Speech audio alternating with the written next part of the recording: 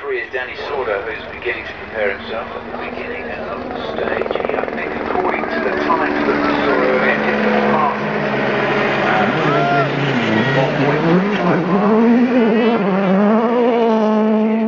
Thierry in the